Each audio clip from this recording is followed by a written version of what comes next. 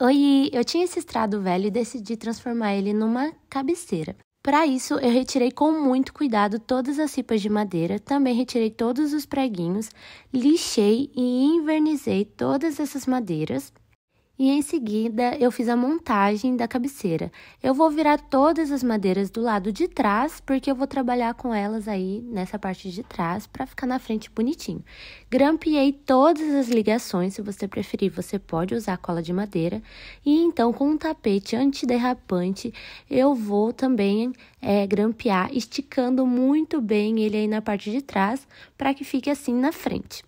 Eu decidi fazer um pezinho para ele, então eu vou usar ripas de madeira, medir a altura da minha cama e com o restante eu a parafusei aí na parte de trás para que eu possa encaixar ela aí como eu mostro no vídeo, mas lembrando que ela fica bem leve e você pode colar com fita dupla face.